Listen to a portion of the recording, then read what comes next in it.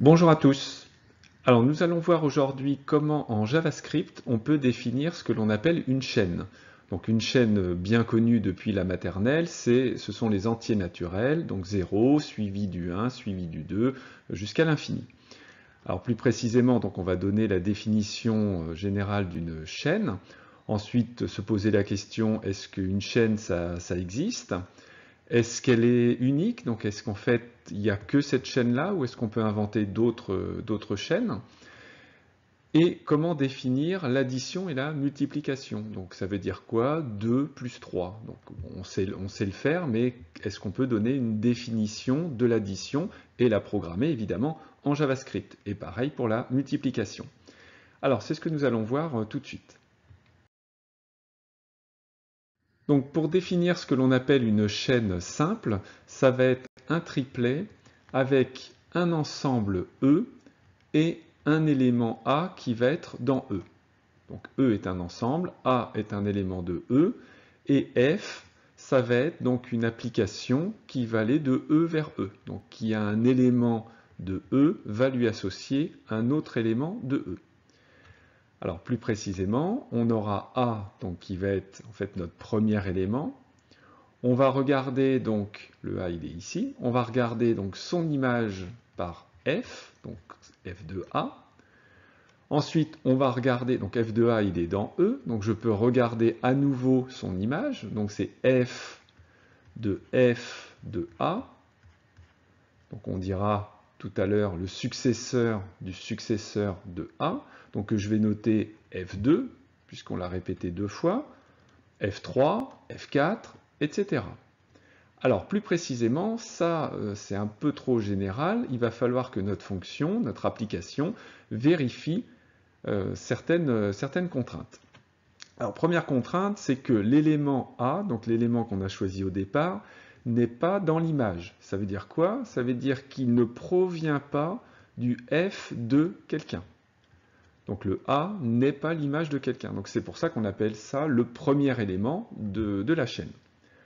Ensuite, donc terme mathématique, f est injective. Donc ça, ça veut dire quoi? Ça veut dire que si j'ai deux éléments qui ont la même image, donc deux éléments qui pointent vers la même image, forcément, c'est qu'ils venaient du même endroit. Donc je ne peux pas avoir deux éléments, donc un x et euh, donc là on va dire que c'est petit x, petit y, qui vont par f vers le même élément.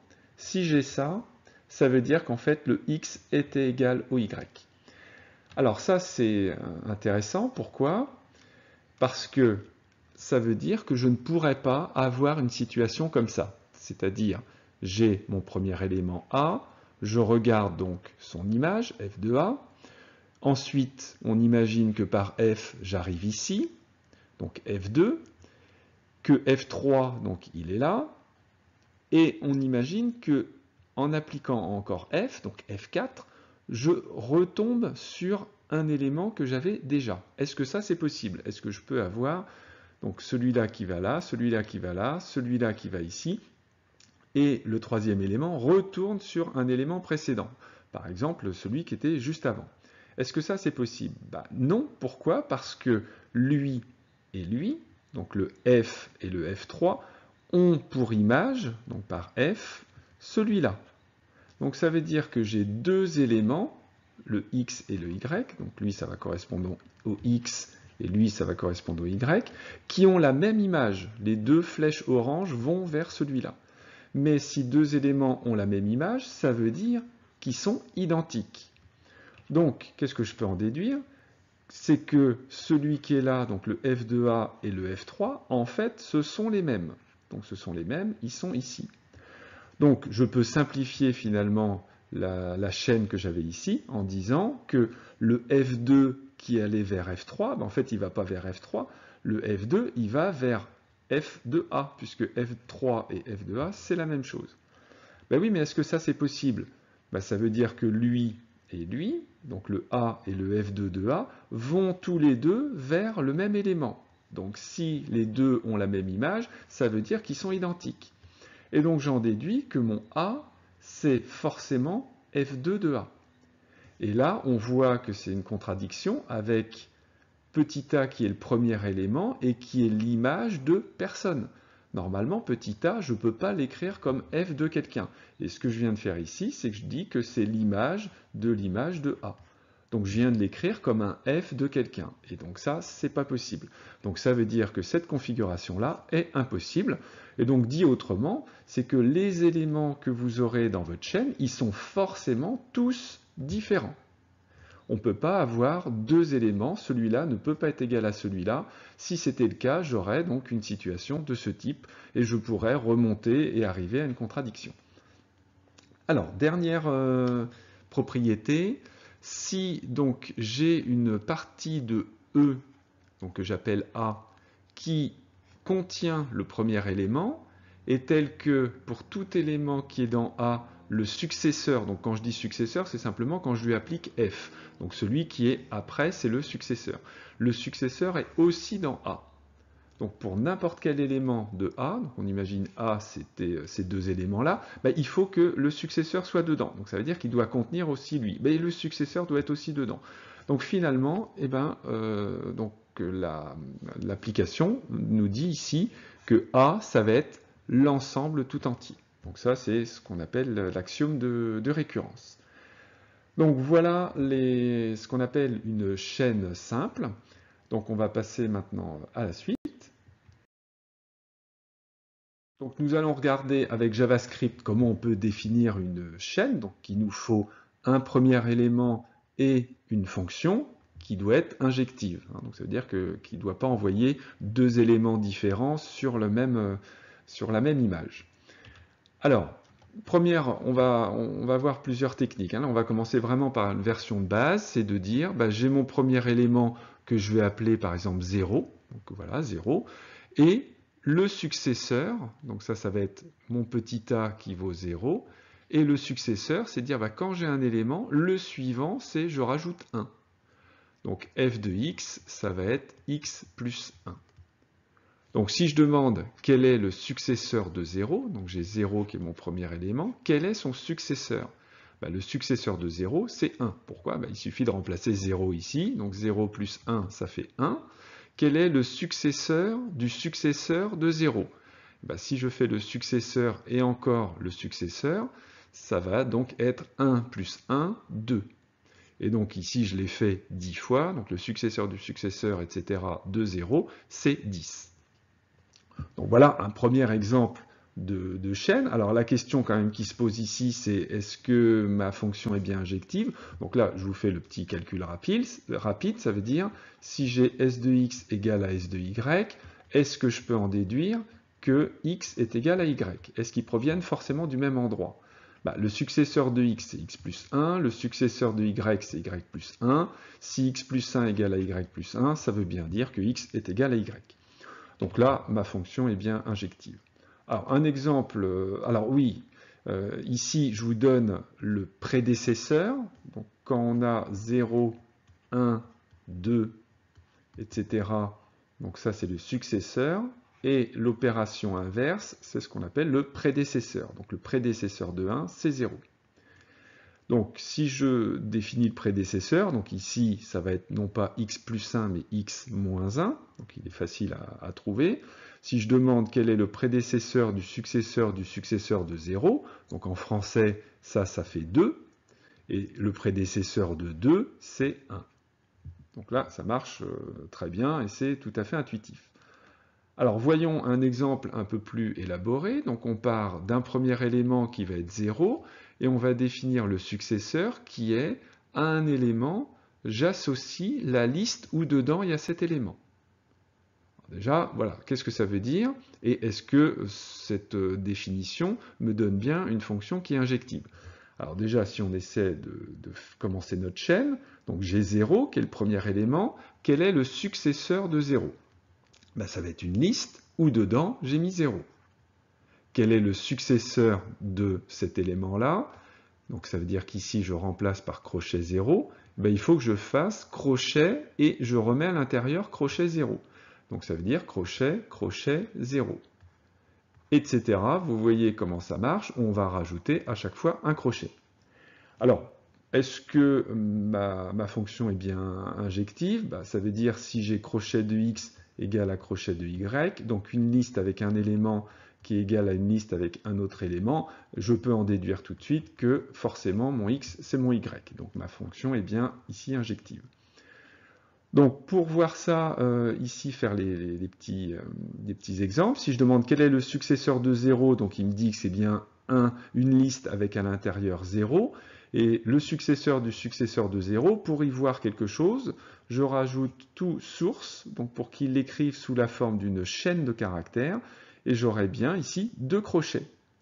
Donc je vois bien que c'est le successeur du successeur de 0, c'est crochet-crochet avec 0 euh, au milieu.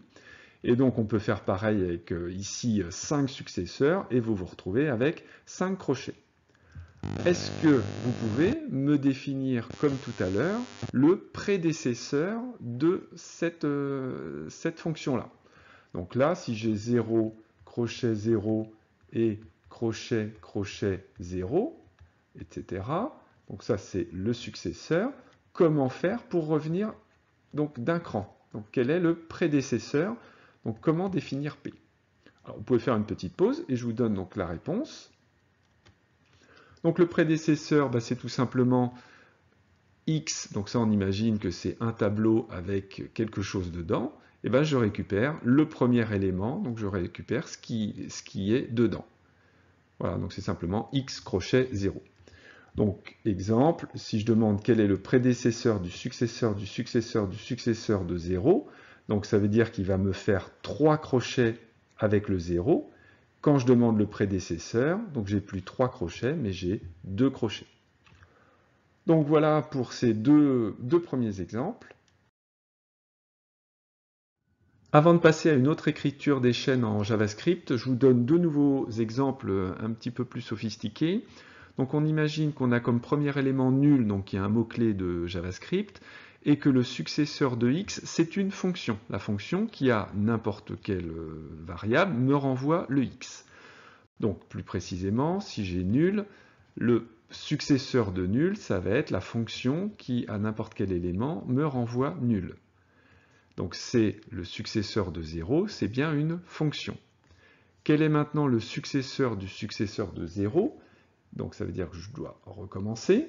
C'est donc l'application qui, à n'importe quel élément, me renvoie, donc ce que j'avais avant, donc qui, à n'importe quel élément, me renvoie nul, etc. Donc ici, vous voyez que quand je demande le successeur du successeur de 0, on a du mal à distinguer la différence entre les, les deux. Donc pour voir la différence, si je demande, donc j'ai le successeur de 0 et je l'évalue.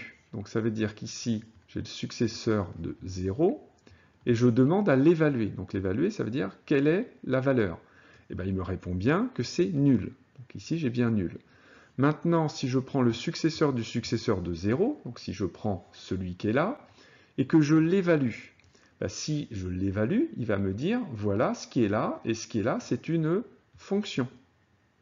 Et si maintenant, le successeur du successeur de 0, je l'évalue non pas une fois, mais deux fois, donc ça veut dire que je l'ai évalué une première fois, donc j'ai la fonction qui est là, et je demande à l'évaluer à nouveau. Donc qu'est-ce qu'il y a après? Et eh bien il va me dire qu'il y a nul. Donc vous voyez que ça fonctionne. Alors, maintenant, la question qui se pose, c'est est-ce que ça, ça définit bien une chaîne? Donc, est-ce que ça, c'est bien injectif? Alors, je vous fais rapidement le calcul. Ça veut dire, si j'ai le successeur de x égal au successeur de y, est-ce que ça veut bien dire que x est égal à y? Alors, successeur de x égale à successeur de y, ça veut dire que à n'importe quel élément, donc ici, hein, ça veut dire quel que soit t, pour n'importe quel t, t va me renvoyer donc euh, x, et puis de l'autre côté, j'ai euh, t va me renvoyer y. Donc n'importe quel t m'envoie vers euh, x et n'importe quel t m'envoie vers y. Donc ça veut dire que si j'ai s de x et que je l'évalue en t, donc comme les deux sont supposés identiques, ça va être pareil que SY évalué en t, oui, sauf que ça, c'est x, et ça, c'est y, puisque pour n'importe quel t, ça me renvoie vers x, et pour n'importe quel t, ça me renvoie vers y. Donc ça veut bien dire que mon x est égal à y. Donc j'ai bien une, chaîne. Alors ma question c'est est-ce que vous pouvez me définir le prédécesseur de S? Donc comment revenir de là à là? Donc tout de suite la réponse. Bah, il suffit pour un x d'évaluer le x, ce qu'on a fait ici. On l'a évalué, on l'a évalué. Donc par exemple, si je demande quel est le prédécesseur du successeur du successeur de 0, donc là je vais mettre 0 écrit comme ça, donc je vais avoir l'application qui me renvoie 0, et je vais avoir l'application qui me renvoie l'application qui renvoie 0. Donc le prédécesseur du successeur du successeur de 0, donc successeur de 0 il est là, successeur de 0, euh, successeur de successeur il est là. Le prédécesseur, ça va bien être une fonction, c'est la fonction qui est là. Et si je demande prédécesseur du prédécesseur, donc ça veut dire que j'ai fait S, j'ai fait S, donc ici comme ça, SS, prédécesseur, prédécesseur, je retombe bien donc sur le premier élément. Ce qui revient à faire prédécesseur du prédécesseur, du successeur du successeur de 0. Ça fait bien le premier élément. Bon, voilà pour cet exemple plus abstrait. Et un dernier, premier élément 0 et successeur c'est à un élément, je renvoie l'objet qui a comme clé V et comme valeur X. Alors j'ai 0, et quand je lui applique le successeur, il me renvoie donc un objet euh, JavaScript qui a comme clé V et comme valeur 0. déjà, est-ce que c'est bien une fonction qui est injective? Bah, Si j'ai un objet qui a comme clé V et comme valeur X, et que je dis qu'il est égal un autre objet qui a comme clé V et comme valeur Y, bah, ça veut dire que le X doit être égal au Y. Donc là, X égale Y, donc bien, je veux bien avoir une chaîne. Donc le successeur de 0, c'est ce que j'ai écrit ici, hein, ce que j'écris là, c'est bien un objet avec comme clé V et comme valeur 0. Et si je demande le successeur du successeur de 0, donc j'utiliserai euh, tout source à chaque fois pour avoir euh, l'écriture sous la forme d'une chaîne. Bah, si j'applique à nouveau ça, il va me dire que c'est un objet qui a comme clé V, donc ça c'est ce qui est ici, et il me reprend le x d'avant, donc le x c'est tout ça, et donc la valeur c'est un objet qui a comme clé V et comme valeur 0. Et si je l'applique 4 fois, bah, c'est euh, donc un objet avec comme clé V qui a comme valeur un objet qui a comme clé V, etc. répété 4 fois. Alors, toujours même question, est-ce que vous pouvez me définir le prédécesseur? Donc, comment revenir donc, en arrière? Alors, vous faites une pause et je vous donne la réponse. Donc, le prédécesseur, c'est simplement quelle est la valeur de, x, donc quelle est la valeur de l'objet. Donc, par exemple, quel est le prédécesseur du successeur du successeur du successeur de 0 Donc là, dans notre tête, il faut imaginer 3. Donc, quel est le prédécesseur de 3 C'est 2, ce qui explique qu'à la fin, on en a 2. Hein, donc là, euh, tout simplement, on, évalue le, x.v. Donc x.v, quand j'en ai 3, bah, ça revient à avoir un objet où il y a ici les deux clés. Alors, on va passer maintenant à une autre écriture qui sera beaucoup plus pratique euh, avec euh, JavaScript. Alors, une seconde idée, ça serait d'avoir quelque chose comme ça. on va voir qu'on va être vite limité, c'est-à-dire qu'on pourra avancer dans la chaîne, mais on ne pourra pas reculer. Donc, on améliorera ça. Donc ça serait de dire, par exemple, les entiers, donc 0, 1, 2, 3, c'est une chaîne où le premier élément c'est 0 et où le successeur c'est n associe n plus 1. Et là, ça me renverrait un générateur qui permettrait d'avoir les différents euh, entiers, 0, 1, 2, etc. Le deuxième exemple que je vous ai donné, donc, qui correspond au tableau, donc je l'ai appelé T, premier élément c'est 0 et le successeur c'est je mets euh, dans un petit tableau la, valeur de x. Pareil, ici on pourra avoir donc nos, fonctions et on pourrait avoir nos, nos, objets. Alors comment faire ça en JavaScript? Donc il existe euh, une technique qui est d'utiliser euh, function avec une étoile, donc pour dire qu'on va créer un générateur, donc générateur euh, JavaScript, et ensuite d'utiliser euh, yield qui va renvoyer à chaque, à chaque fois qu'on appellera chaîne, qui va renvoyer l'élément suivant. Alors qu'est-ce que j'ai fait ici? Donc j'ai défini donc un générateur avec un premier élément et un successeur. Donc le premier élément est ici le successeur. Et on fait une boucle infinie, c'est-à-dire qu'on peut euh, demander 0, 1, 2, 3 autant de fois qu'on veut. Et à chaque fois, donc à chaque fois qu'on appellera, il va donc nous renvoyer un élément qui sera le successeur de x. Voilà. Mais ce que je fais, c'est donc que j'écrase le x que j'avais avant et je le remplace par le successeur de x. Donc en faisant ça, eh ben, je, pourrais avoir donc mes, différents éléments. Alors comment ça marche? Eh ben, vous, donc, bah, vous, rentrez, euh, vous rentrez ça dans, Firefox, hein, par exemple dans l'ardoise, vous exécutez.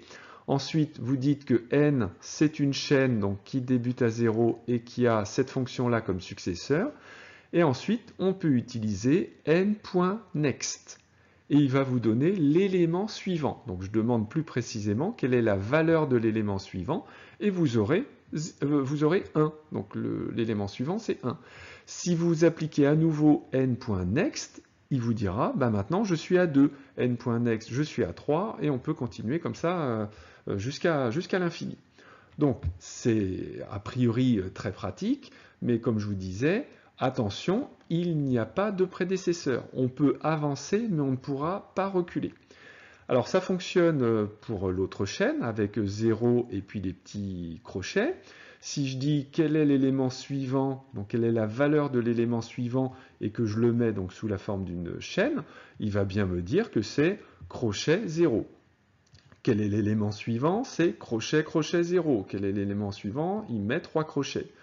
Donc voilà, donc c'est bien, mais ça va être embêtant pour la, pour la suite, puisque donc on aura besoin du prédécesseur. Alors voici une autre version qui est non pas de créer un générateur, mais de créer un objet où à l'intérieur on aura une, méthode successeur. C'est-à-dire que quand je demanderai quel est le successeur pour la chaîne n, il me dira c'est 1. Quel est le successeur C'est 2. Quel est le successeur C'est 3. Et on pourra après définir le prédécesseur et euh, définir l'addition et définir la multiplication. Et ça marchera donc pour des chaînes plus abstraites. Donc par exemple ici avec les listes, on aura donc toujours notre successeur. Et quel est le successeur? C'est crochet 0. Quel est le successeur? C'est crochet, crochet 0. Et on pourra définir le prédécesseur. Alors comment j'ai fait ça? Comment j'ai pu définir l'objet? Donc je vous le mets au-dessus. Ça va être une fonction, donc vous voyez qu'il n'y a plus la petite étoile. Hein. Là, on va en fait créer un objet à partir d'un premier élément et d'un successeur, donc qui va être donc toujours une fonction. Donc je vais dire que x c'est le premier élément, que ce que l'on appellera le successeur, ça sera un élément v, j'associe le successeur de v, et vous voyez que j'ai rajouté euh, deux, choses, parce que ici, je n'ai pas mis de paramètres. Donc qu'est-ce qui se passe quand je ne mets pas de paramètres? C'est-à-dire quand je ne mets pas de V? Eh bien, Je lui dis que quand il n'y a pas de V, il faut prendre le X. C'est-à-dire il faut prendre l'élément, donc la variable qu'on a définie dans notre objet. Donc quand j'appelle le successeur la première fois, il va me dire « Ok, moi, X, c'est 0. » Donc je vais vous dire quel est le successeur de 0. Donc quel est le successeur de 0 Donc successeur de 0, bah, ça va être 0, euh, il va me renvoyer 0 plus 1, donc il va me renvoyer 1. Donc il va me dire, votre successeur c'est 1. Et il en profite pour mettre, donc pour écraser x et de dire que x maintenant il vaut 1. Donc à l'étape d'après, quand je demanderai quel est le successeur sans préciser d'argument, eh ben, il va reprendre donc ici le 1 et il va calculer le successeur de 1 qui est 2 et il va écraser le x en mettant 2. Donc le successeur de 1, ça sera 2. Et donc ça fonctionnera également pour, donc je vous disais, une chaîne plus, abstraite. Donc si je reprends euh, juste le premier, je définis donc une chaîne avec 0, donc ça veut dire qu'ici j'ai 0. La fonction s, c'est x associe euh, la liste avec petit x.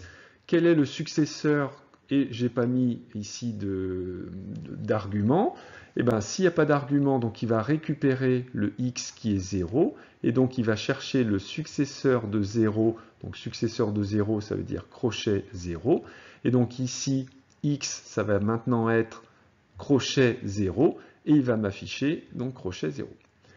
Et donc on va retourner à chaque fois l'objet euh, successeur. Alors j'ai fait ça, ça c'est pour pouvoir euh, écrire n.sux. Voilà, donc en faisant return et en mettant le successeur, on aura accès à la méthode successeur. Donc voilà pour cette écriture qui va être vraiment euh, l'idéal pour, pour la suite. Donc on va enfin pouvoir écrire des chaînes avec des prédécesseurs, des successeurs et même changer à n'importe quel moment la valeur initiale de la chaîne. Alors ce que je voudrais, c'est par exemple pour définir les entiers n, donc 0, 1, 2, 3, etc., lui dire que le premier élément c'est 0, le successeur c'est n associé n plus 1, et le prédécesseur c'est n associé n moins 1. Donc je définis premier élément, successeur, prédécesseur. J'aurai un objet avec successeur, prédécesseur, et on rajoutera donc initial, hein, quel est l'élément initial, donc par exemple ici, euh, dire que l'élément initial c'est 8. Donc, si une fois que euh, j'ai cette chaîne, je lui demande quel est le successeur dans la chaîne n, il me dira que c'est 1. Si j'applique à nouveau cette ligne-là, il me dira que c'est 2, ensuite 3, etc. Si je lui demande quel est le successeur en précisant l'argument, donc par exemple 15, il doit me dire que c'est 16. Donc ici, quand j'ai 15, le successeur c'est 15 plus 1, 16. Et si je lui demande quel est le prédécesseur du prédécesseur de ma chaîne n quand je la débute avec 8, donc j'ai 8, je lui demande quel est le prédécesseur, donc nous on voit bien que c'est 7, hein, ici ça fait 7, quel est le prédécesseur, ça fait 6, il faut qu'il me réponde 6. Voilà, et si je prends donc une chaîne plus abstraite, donc une chaîne où le premier élément c'est 0, le successeur c'est mettre entre crochets l'élément d'avant et le prédécesseur, c'est donc euh, regarder quel est le premier élément de la liste. Donc on a dit c'est 0, crochet 0, crochet, crochet 0, etc. Donc ça c'est les successeurs.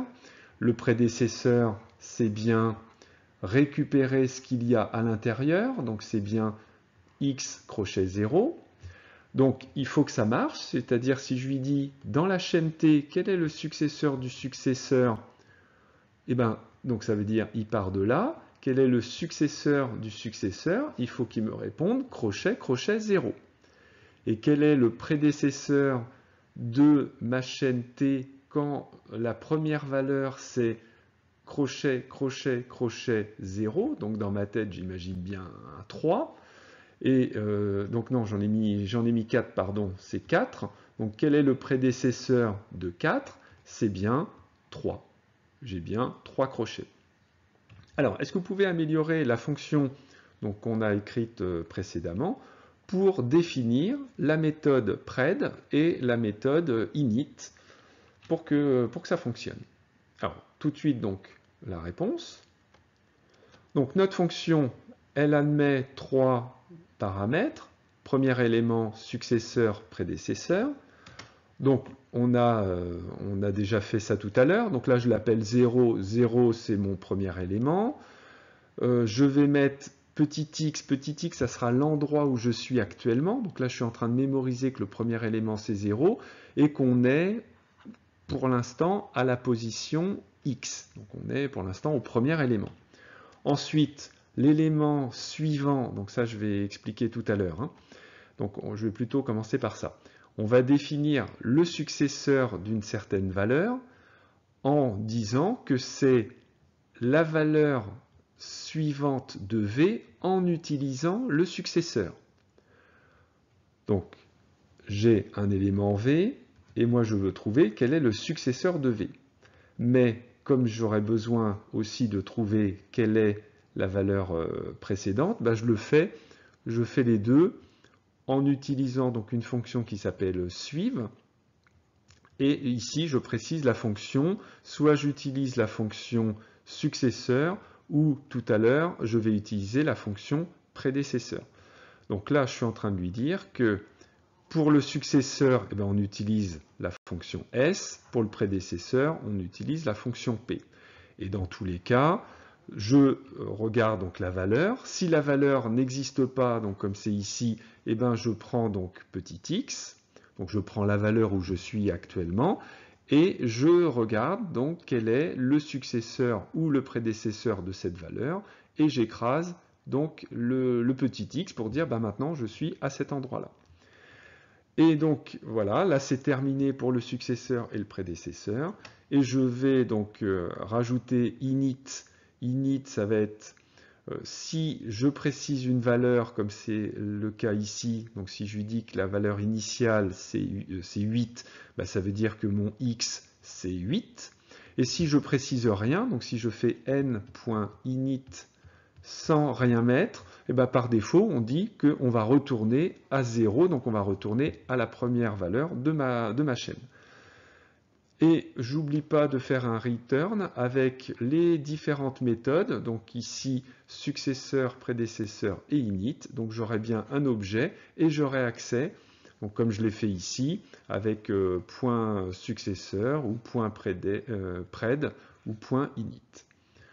Donc voilà pour euh, l'écriture d'une chaîne qui contient donc 0. Euh, Alors 0, je ne l'ai pas renvoyé, mais on peut, ce que je ferai euh, tout à l'heure, on peut rajouter 0, c'est-à-dire qu'ici vous verrez marqué 0, 2.0, puisqu'on a défini la chaîne avec, avec 0.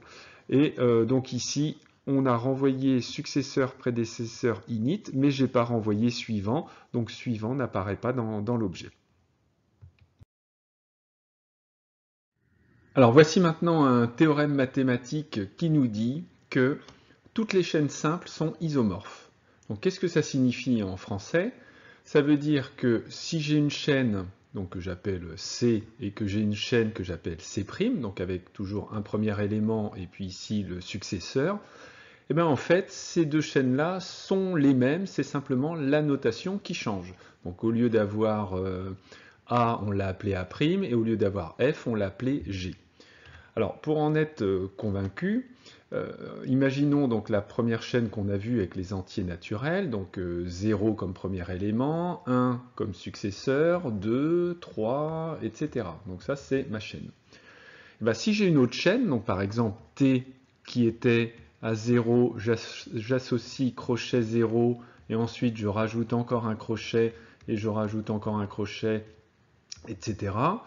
Eh bien finalement, c'est juste une histoire de notation. Donc là, ici, le premier élément était noté pareil. Donc celui-là, en fait, c'était le même. Mais je peux passer de 1 à celui-là facilement. C'est simplement de dire qu'il y a un crochet. Ici, avec 2, il y a deux crochets, trois crochets, etc. Donc vous voyez que finalement, euh, tout à l'heure, quand je parlais de crochet 0, euh, j'aurais pu vous dire 1, il y a un crochet. Ici, j'aurais pu vous dire il y a deux crochets. Donc c'est une histoire de notation et c'est vraiment donc un théorème qui nous dit vous pouvez prendre deux chaînes simples quelconques, elles sont de toute façon isomorphes. Alors, bah, comme elles sont toutes isomorphes, autant prendre la plus simple. La plus simple, c'est celle qu'on connaît depuis la maternelle.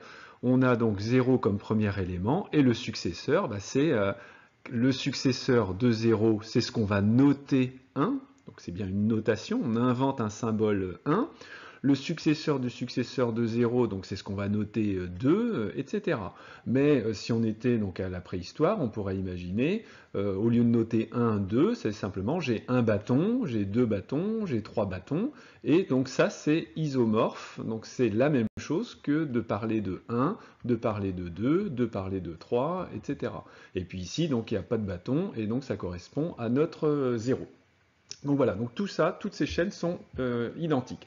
Mais alors si toutes les chaînes simples sont, euh, sont finalement identiques, aux notations près, la question c'est est-ce qu'une chaîne simple, ça existe? Donc est-ce que 0, 1, 2, 3 jusqu'à l'infini, ça existe? Eh bien ça, en mathématiques, hein, je vous renvoie vers euh, Wikipédia, c'est un axiome donc, qui s'appelle l'axiome de l'infini. Donc on suppose que cet ensemble euh, existe. Donc voilà, là je vous renvoie vraiment vers Wikipédia si, si vous voulez avoir plus d'informations. Donc on va passer à l'addition dans les entiers, donc c'est ce qu'on appelle l'arithmétique de Peano, donc pareil, vous pouvez regarder sur Wikipédia. Donc il existe une seule application qu'on note plus, qui a deux entiers, va associer donc un, un entier. Donc plus précisément, pour n'importe quel élément, donc pour n'importe quel entier, quand on va faire l'addition avec 0, ben, on va retomber sur le, le x du départ. Et voilà la définition donc de l'addition. Qu'est-ce que ça veut dire additionner x avec... Alors vous remarquerez que la définition, c'est pas x plus y, mais c'est x avec le successeur de y.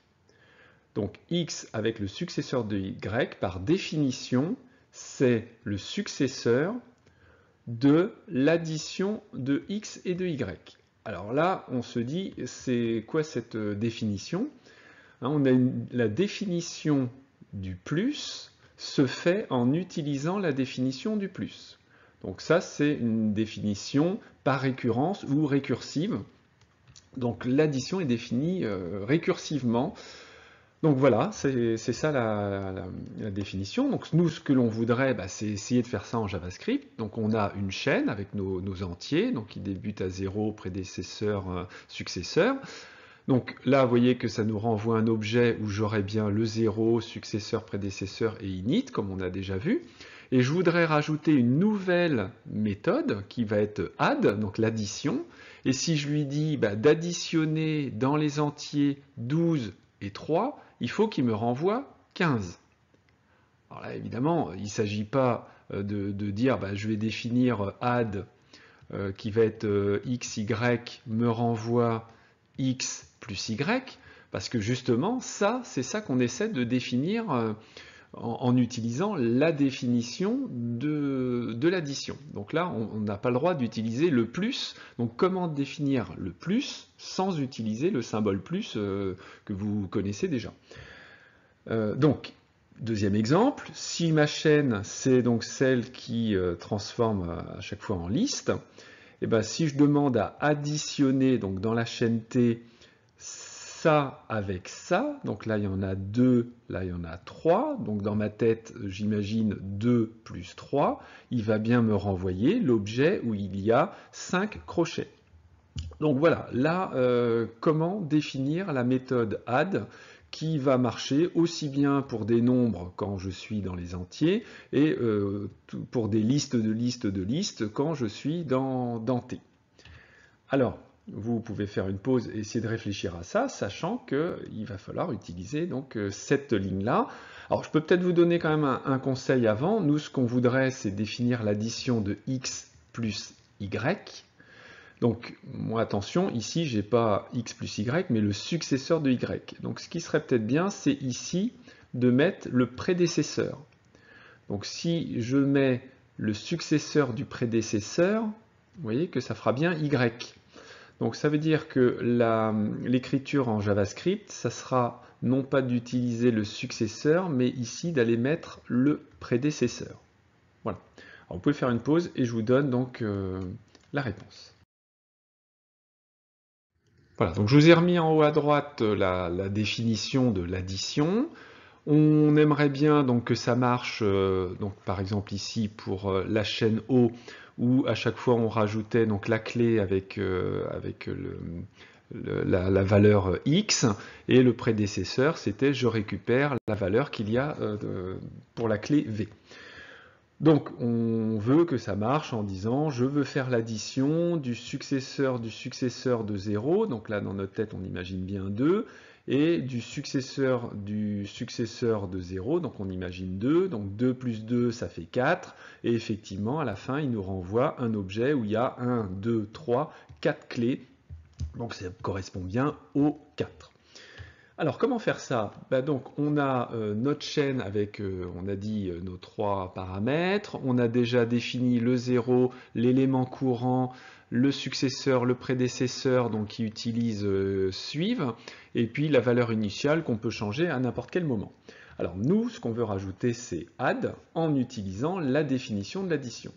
Donc l'addition de x et de y, eh ben, il y a deux cas à regarder. Il y a le cas où le y c'est 0, donc quand le y est égal à 0, donc là j'ai mis 3 et égal pour être sûr que c'est vraiment le 0 et que c'est bien le même type. Hein, vous voyez qu'on utilise des fois des, un 0, des fois on va utiliser nul, euh, donc le premier élément peut être euh, un peu quelconque, donc là on va vraiment vérifier que c'est bien le 0.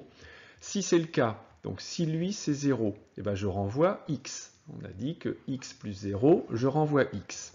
Sinon, si c'est pas 0, ben qu'est-ce que je fais?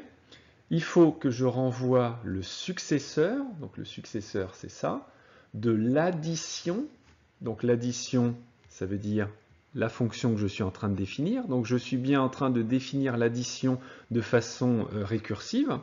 L'addition de x, donc voilà, on a tout ce qu'il faut, avec non pas y, mais avec le prédécesseur de y, puisque ici, je ne veux pas avoir le successeur, mais je veux avoir y.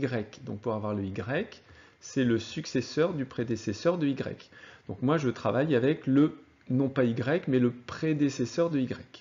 Donc ces deux-là, ça me fait bien y, donc c'est celui qui est ici. Et donc si j'ai mis prédécesseur de y, ça veut dire que l'autre, c'est bien euh, prédécesseur de y. Je renvoie 0, donc c'est le 0 qui est là. Je renvoie successeur, prédécesseur euh, et init, et je renvoie également la méthode add, comme ça je peux l'utiliser euh, sans problème dans, avec ma chaîne O. Vous pouvez tester, vous verrez que ça fonctionne euh, très bien. Ça fonctionne très bien, attention quand même, on est en train euh, de définir donc de façon euh, récursive add, donc ça veut dire que si vous demandez avec des nombres qui sont énormes, par exemple additionner 10 000 avec 100 000, là il va vous dire qu'il y a trop de récursion et donc il va, il bugger. Hein. Donc euh, voilà, là c'est sur le principe, ça fonctionne. Donc on arrive à redéfinir l'addition sans utiliser euh, le, symbole euh, plus. Hein, vous remarquerez qu'il n'y a pas de symbole plus ici, et pourtant ça marche. Mais voilà, on est limité, on va dire, par, par la machine. Alors comme on a vu que toutes les chaînes simples sont isomorphes, eh ben, ce qui serait intéressant, c'est de se dire comment je passe finalement d'une chaîne à une autre. Donc par exemple, si j'ai les entiers et ici j'ai les listes où à chaque fois donc, je, remets des, je rajoute des crochets, bah, ce que j'aimerais bien, c'est avoir donc une fonction euh, conv pour convertir, par exemple, de la chaîne t vers la chaîne n, et lui dire, bah, si ça c'est écrit dans la chaîne t, comment ça s'écrit dans la chaîne n? Et donc ils me disent 3, puisqu'ici il y a 3 crochets, donc ça correspond au nombre 3. Et inversement, si je vais de n vers t, comment s'écrit 10 donc comment s'écrit 10 en utilisant des crochets? Eh bien, Il va me mettre 10 crochets ici. Alors là, comment, comment faire ça? Donc là, je vous aide, puisque c'est quand même un petit peu, euh, un petit peu compliqué. C'est ici, donc je vais avoir ma chaîne 1, ici je vais avoir ma chaîne 2, et je me dis, si je prends un élément x de la chaîne 1, comment il s'écrit dans la chaîne 2 Alors, déjà, ce qu'on sait, c'est que si c'est le premier élément, bah, le premier élément, il est envoyé sur le premier élément de l'autre chaîne. Donc ça, c'est important, hein, de voir que 0 est envoyé sur 0. Eh bien, pour répondre à cette question, on ne va pas prendre ce chemin-là, mais on va prendre le chemin qui est là. Donc revenir d'un cran, aller ici et repartir par là. Donc, on va regarder quel est le prédécesseur de x, comment s'écrit le prédécesseur de x dans la chaîne 2, et après appliquer le successeur de la chaîne 2. Alors là, vous allez me dire, bah, est-ce qu'on vraiment on avance? Parce que le prédécesseur, on ne sait pas comment il s'écrit. Bah, si on ne sait pas, on pourra, donc de façon récursive, lui dire, bah, regarde le prédécesseur du prédécesseur. Et au bout d'un moment, donc on arrivera à 0, donc au bout d'un moment, il sera capable d'aller dans l'autre chaîne. Donc voilà l'idée, hein, ça va être de euh, définir de façon récursive conv en lui disant essaie de me convertir l'élément précédent, sachant que si c'est 0, et eh ben à ce moment-là, envoie-le sur le 0 de l'autre chaîne. Alors, je vais vous donner deux, solutions et vous pouvez donc faire une pause et réfléchir, réfléchir à ça. Alors voilà, première, euh, première technique, donc le conv c'est une fonction qui est indépendante hein, de, la fonction chaîne, donc vous la mettez à part, qui nous dit qu'on va convertir de la chaîne 1 vers la chaîne 2 un élément x qui est dans la chaîne 1. Donc premier, premier test, si x c'est le 0 de la chaîne 1, à ce moment-là, je l'envoie vers le 0 de la chaîne 2. Donc ça, c'est ce qu'on a dit, le 0 de la chaîne 1 est envoyé sur le 0 de la chaîne 2. Maintenant, si ce n'est pas le cas, donc si x il est là, à quoi ça correspond donc son image? Donc comment je l'écris dans l'autre chaîne? Eh bien, je prends le prédécesseur de x par rapport à la chaîne 1, donc prédécesseur par rapport à la chaîne 1, je suis ici. Je convertis donc de la chaîne 1 vers la chaîne 2 ce prédécesseur, donc ça veut dire qu'ici je cherche le phi de p de x, et ensuite je lui applique le successeur de la chaîne 2, donc je lui applique le, g, donc le g euh, a, qu'on a ici. Donc voilà, là on a, on a terminé, on a défini conv, donc en utilisant euh, conv, donc on a à nouveau une définition récursive, qui s'arrêtera parce qu'au bout d'un moment, le prédécesseur du prédécesseur sera à 0, donc il sera capable d'avoir, euh, de passer à la, chaîne, à la chaîne 2. Mais si vous testez ça donc avec des nombres très grands, vous demandez à convertir avec ici un 10 000, il va vous dire il y a trop de récursion et donc il n'y arrivera pas. Donc théoriquement ça marche, maintenant JavaScript va au bout d'un moment vous, bloquer. Donc je vous donne euh, donc une autre, euh, une autre version, donc où là il n'y aura plus de récursivité, donc le conv n'apparaît plus. Alors quelle est l'idée? L'idée, bah, ça va être, par exemple, je vais commencer par un petit exemple, 0, 1, 2, et je me demande comment s'écrit, donc ça ce sont mes entiers, donc n, je veux écrire ça dans t où il y a les crochets. Donc comment écrire 2 avec des crochets Eh bien l'idée c'est, je vais prendre S, qui est le 0 de la chaîne 2. Donc le S, au début, c'est, euh, on a dit, hein, la chaîne 2, on, l'initialise avec 0. Donc c'est 0. Ensuite, tant que mon X, donc mon X il est, il est là, hein, tant que mon X, ce n'est pas le 0 de la chaîne 1. Donc là c'est le cas, X c'est 2, donc c'est pas, pas le 0 qui est là. Hein. Donc qu'est-ce que je fais? J'écrase mon x et je prends le prédécesseur de x. Donc le x, je l'écrase et je le mets ici. C'est le prédécesseur. Donc je vais dans ce sens-là. Et le s, je l'écrase et c'est le successeur de s. Donc dans l'autre chaîne, je regarde le successeur. Donc le successeur, c'est crochet 0. Donc le s, il est là maintenant. Est-ce que mon x, c'est 0 Toujours pas. Donc j'écrase mon x et je prends le prédécesseur. Donc je reprends le prédécesseur, donc mon x il est là, et le s, je l'écrase et j'applique à nouveau le successeur. Donc crochet, crochet, 0. Est-ce que x c'est le 0 de la chaîne 1 Oui. Donc je retourne s et il me renvoie donc celui-là qui est bien l'image de 2. Il y a bien deux crochets. Et là, donc, vous voyez, l'intérêt, c'est que comme c'est pas récursif, vous pourrez euh, appliquer donc conv avec des nombres euh, beaucoup plus grands ou euh, utiliser ici 10 000, crochets, ça, marchera. Bon, courage par contre pour les taper. Donc voilà pour cette partie conversion. Donc on va passer maintenant à un petit peu de décoration. Donc ça veut dire par exemple que si j'ai mes entiers et que je lui dis explique-moi quelle est la source de 5, ça veut dire quoi 5 Il doit nous dire, donc il va nous renvoyer une chaîne avec successeur du successeur, donc 5 fois avec 0. Donc là on comprend bien ce que c'est que 5. Si je le fais avec la chaîne T, donc qui est à chaque fois de rajouter des petits crochets, si je lui dis quelle est la source de crochet crochet 0, donc là on imagine que c'est 2, c'est bien le successeur du successeur de 0. Donc vous voyez que la notation va être homogène, quelle que soit la, chaîne. Et donc pour cet euh, autre exemple, avec les, objets, donc avec la clé et puis la valeur, si je lui dis quelle est la source du successeur du successeur du successeur du 0, et eh bien, il nous dit bien que c'est le successeur du successeur du successeur de 0. Donc voilà, j'ai vraiment une notation là homogène.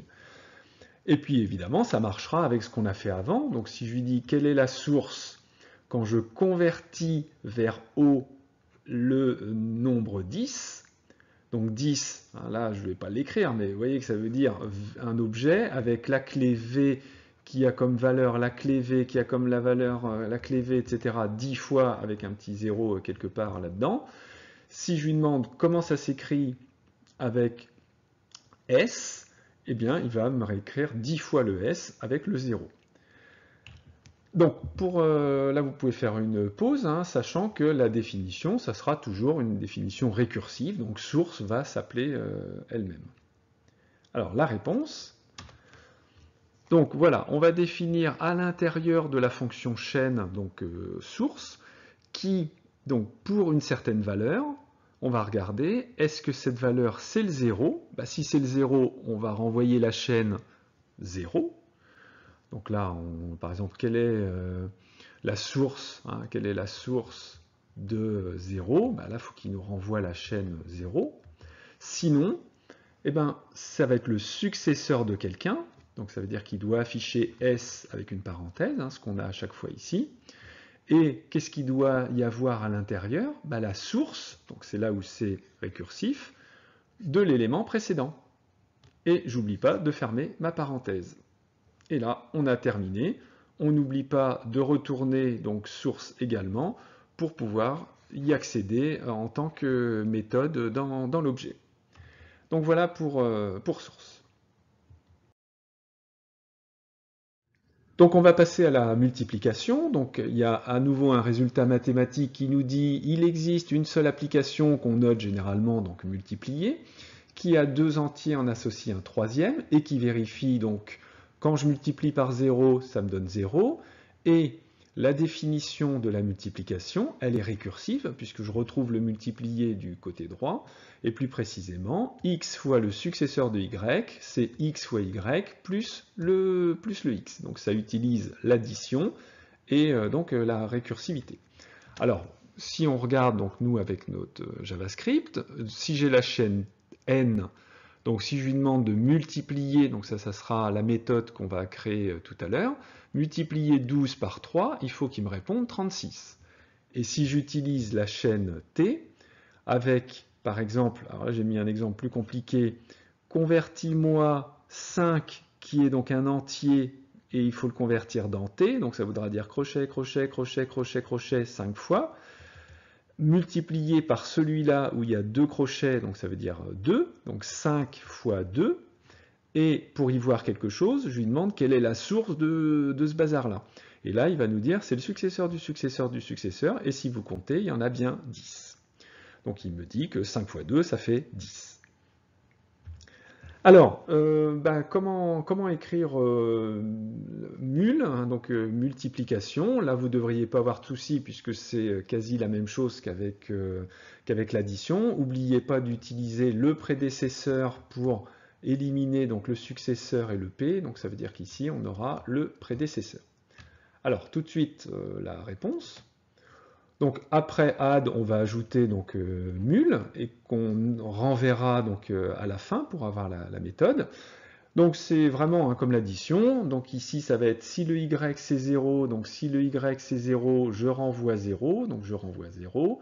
Sinon, je fais l'addition, donc je fais l'addition de quoi? Bah, De x, donc c'est le x qui est ici, avec la multiplication donc là, avec la multiplication qui est là, de x et du prédécesseur de y, hein, puisque ici, je n'ai pas mis le successeur, mais j'ai mis le prédécesseur, donc il y a bien le prédécesseur qui est là.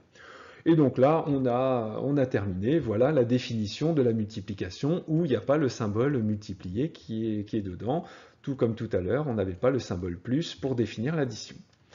Alors là, je vous donne un dernier exemple avec les fonctions de fonction, donc on avait vu au début de la vidéo, donc on partait de nul, et à chaque fois on ajoutait euh, donc euh, une fonction. Donc à x, on renvoie une fonction. Et puis le prédécesseur, c'était d'évaluer cette fonction-là. Alors, par exemple, je lui demandais de faire ce calcul euh, atroce, c'est de lui dire de multiplier, alors multiplier quoi? 5 qu'on a converti dans la liste L. Donc ça veut dire, je vais commencer juste à l'écrire, l'application qui renvoie ça, qui renvoie ça, qui renvoie ça, je peux l'écrire jusqu'au bout, qui renvoie ça, qui renvoie nul. Donc ça c'est 5, mais 5 écrit dans L, avec je convertis de T vers L, ce qui est là. Donc ce qui est là, il y a 4 crochets, donc ça c'est 4 convertis dans L, ça veut dire que c'est la même chose que ça, mais il y, en a, il y en a 4. Donc je suis en train de lui demander de multiplier 5 par 4, donc qui sont dans L, mais de me le dire euh, combien ça fait en nombre. Donc de convertir en nombre cette multiplication horrible. Et eh bien il me dit que 5 x 4, ça fait 20. Et vous voyez que là, en JavaScript, il est euh, capable de, répondre à cette, question-là en utilisant donc des chaînes et des, et des conversions. Donc on pourrait faire encore euh, beaucoup de choses. Là, je vous propose pour terminer, donc ça va être la dernière euh, diapositive, de regarder donc ce qu'on appelle les relations d'ordre, donc savoir est-ce qu'un élément est plus petit ou pas qu'un autre. Hein. Donc là, ce qu'on veut savoir, c'est est-ce que x est plus petit que y? Donc, qu'est-ce que, je, veux plus précisément? C'est dire, je prends 12 qui est dans la chaîne n, je prends 23 qui est dans la chaîne n, est-ce que donc, le premier est inférieur au deuxième? Donc est-ce que 12 est plus petit ou égal à 23 Et il doit me répondre, c'est vrai. Mais j'aimerais bien aussi que si je prends 4 dans n et que je prends crochet, crochet, crochet dans t, donc ça, ça veut dire 4, l'autre, ça veut dire 3, est-ce que 4 est plus petit que 3 Là, il faut qu'il me réponde faux. Il faut que le inf puisse travailler avec des chaînes quelconques.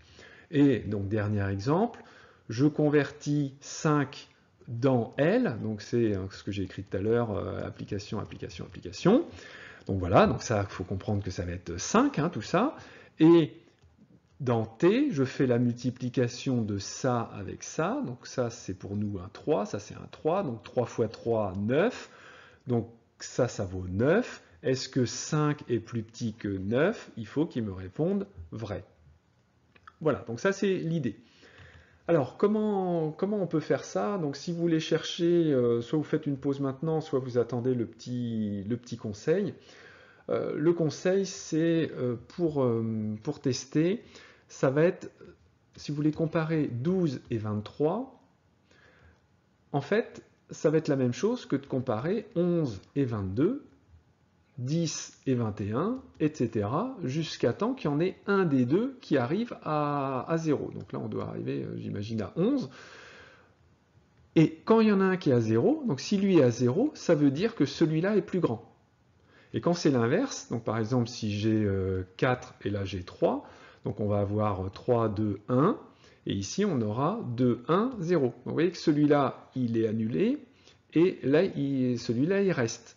Donc dans ce cas-là, c'est faux. Hein. c'est faux de dire que le premier est plus petit. Le premier, il est plus grand que le deuxième, donc supérieur. Par contre, quand c'est le premier qui s'annule, et eh ben là c'est vrai que le premier est inférieur ou égal au deuxième. Donc à nouveau, inf, on va pouvoir le définir de façon récursive en disant bah, si je ne sais pas faire ça, eh ben, regarde par rapport au précédent. Et quand il y en a un des deux qui est 0, donc si c'est le premier ou si c'est le deuxième, eh ben, je pourrais en déduire que c'est plus petit ou pas. Donc voilà, ça c'est l'idée. Donc vous pouvez faire une pause et puis euh, essayer de trouver. Et je vous donne donc tout de suite euh, une réponse. Voilà, donc là, inf, donc, qui va permettre de, regarder quel est le plus grand euh, ou le plus petit. Donc ici, x il est dans la chaîne 1, y il est dans la chaîne 2. Si x c'est le 0 de la chaîne 1, bah, ça veut dire que j'ai quelque chose comme 0 et un élément à côté, donc je suis sûr que c'est vrai, que euh, le premier élément x est bien plus petit que le y. Si maintenant c'est faux, bah, peut-être que c'est le deuxième qui est égal à 0, donc ça veut dire que j'ai quelque chose et là j'ai 0. Donc là je suis sûr que celui qui est là est plus grand que le deuxième puisque si c'était 0, eh ben, euh, le test précédent aurait été euh, validé. Et donc dans les autres cas, bah, ça veut dire que c'est ni un 0, ni un 0, ni pour le x, ni pour le y. Donc j'ai x, j'ai y, je ne sais pas s'ils sont plus petits. Donc je lui demande de prendre le prédécesseur de x dans C1 et le prédécesseur de y dans C2 et à nouveau de regarder est-ce que le premier est plus petit que le deuxième. Donc en fait, je teste entre guillemets avec x-1, hein, puisque ce n'est pas forcément des, entiers, mais on demande avec, euh, avec le prédécesseur de, x et le prédécesseur de y. Donc voilà pour cette euh, vidéo sur les chaînes simples. À bientôt